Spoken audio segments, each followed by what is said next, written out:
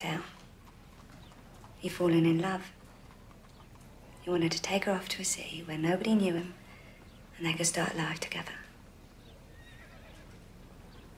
He gave us the whole shicey cock and balls turn. And Lady Jane agreed? She ain't a white slavey, you know. Marianne agreed.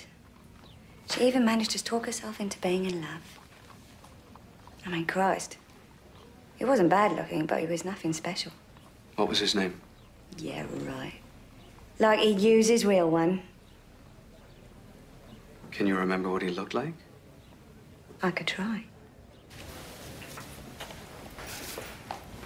What about the eyes? Hmm. This ain't bad.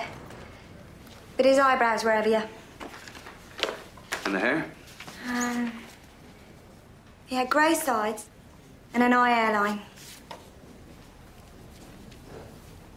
Oh, this cove's perfect.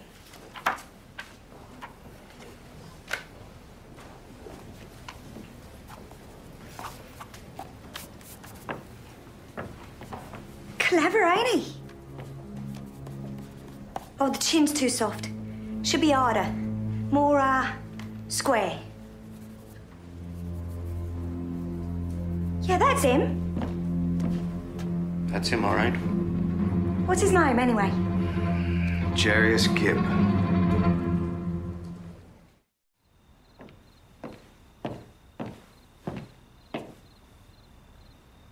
What in damnation? Jarius Gibb. Where is he? Why the hell should I tell you? Because he's a murderer, Mr. Eakins. He shot a constable. He beat in a young woman's skull, and he most probably poisoned your stepson. What? Yes, I think you'll also find that he's laced your whiskey with chloral hydrate, a drug which causes the heart's rhythms to break down. Isn't that what you suffer from? Why would he? So that you'll stop looking for young wives to breed real sons who'll inherit your money, sir. Christ.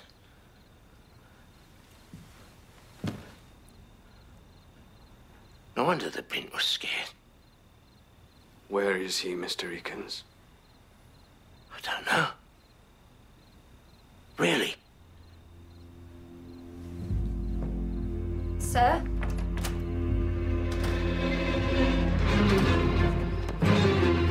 Oh! You helped him that night.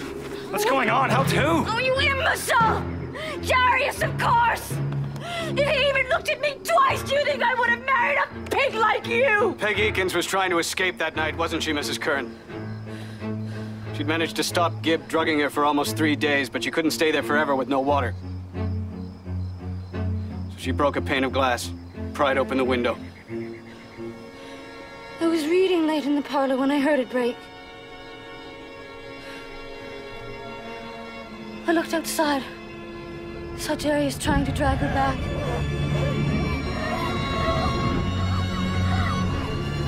Jarius was trying to give her the medicine. The doctor was coming in the morning. I thought he was helping her, trying to save her from herself. Then she screamed. Oh my God, did she scream? Constable Wicken came to investigate.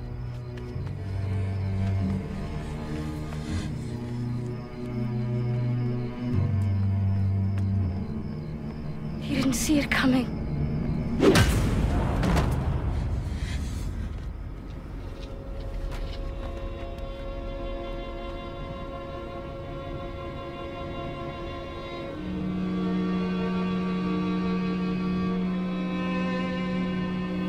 Him move Wicken to the house.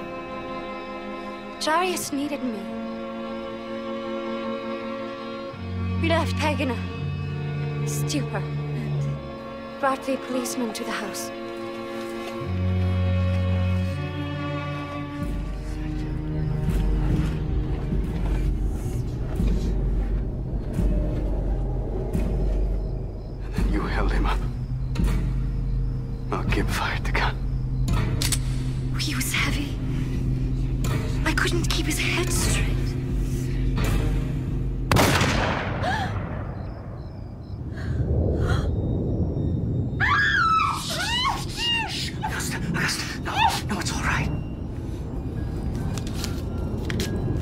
wrote the note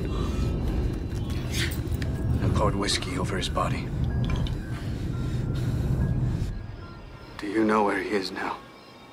He said something about visiting the asylum. Lock her up.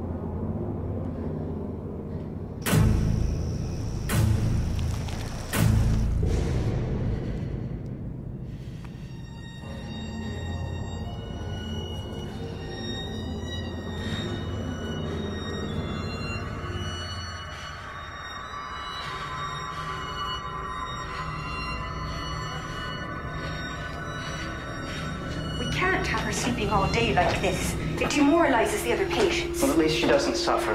And surely it's better to let her sleep than to confine her to a straitjacket. It only seems more humane.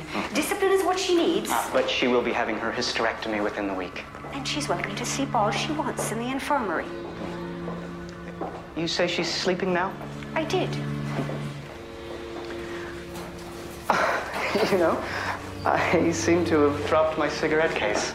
Uh, the pockets of this jacket are too damn shallow. Shall we go back? Uh, no, no, no, you go on ahead. I have a good idea where I dropped it. If you're certain.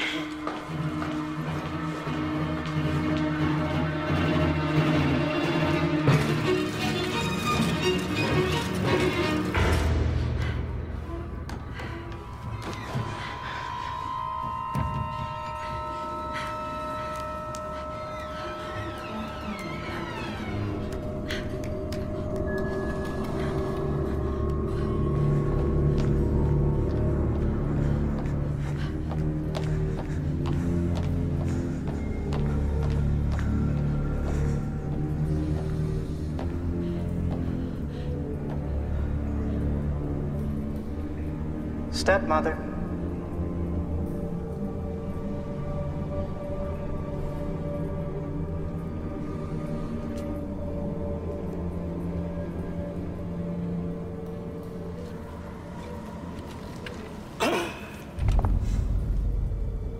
It's me, Jarius.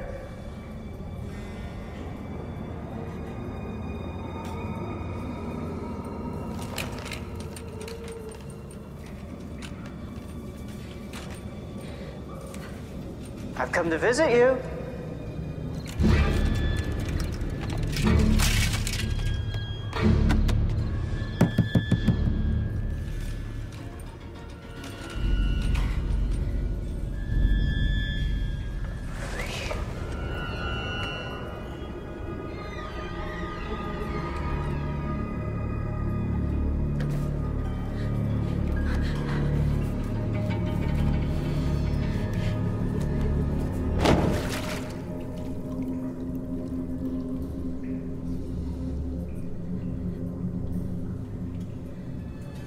Know you're hiding from me.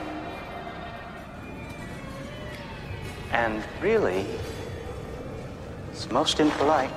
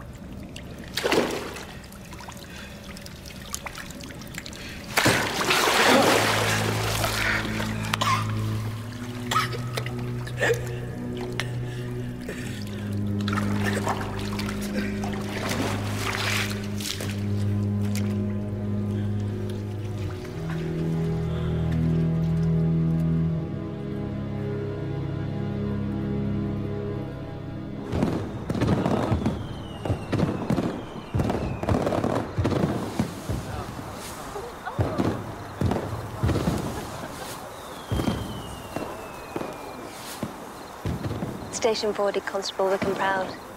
Even the inspector looked handsome in his dress uniform. Oliver died a hero's death. He deserved a hero's funeral. And he certainly got one. Thanks to you. And to you. You know, we work very well together, William. Yes, we do. I think it's because you have the mind of a scientist. It's clear and orderly. You mean predictable? No. Oh, kind, perhaps. Courteous to a fault. But, well, sometimes I, I Julia. think... I...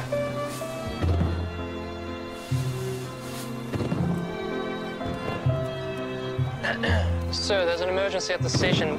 We need you.